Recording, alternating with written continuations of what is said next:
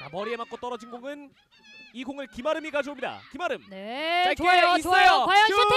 아! 정면입니다. 민유경 골키퍼 또 한 번 선방을 보여주었습니다. 아, 지금은 넘어지면서 아, 약간 밸런스를 잃었거든요.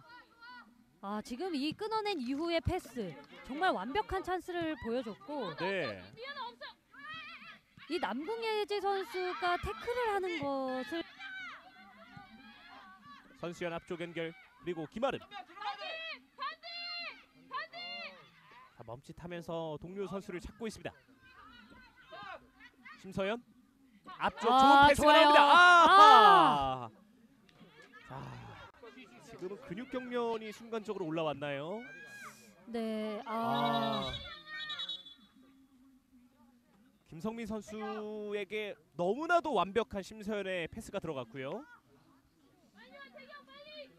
네, 아 지금 이 장면 이전에 김아름 선수의 볼을 받았을 때 그리고 슈팅을 할 때에도 한번 이렇게 경련이 일어 잠깐 일어났던 것으로 보여요. 스트레칭 이후에 조금 괜찮아 보여서 또 다시 이제 스프린트를 하는 과정이 있었는데 아 이 과정에서 또 근육결 경련이 좀 심하게 올라온 것으로 보입니다. 자 김성민 선수의 현재 모습을 보고 많은 팬분들 분명히 느끼실 것 같습니다. 선수들이 매 경기 뛸 때마다 얼마만큼의 절실함을 갖고 뛰고 있는지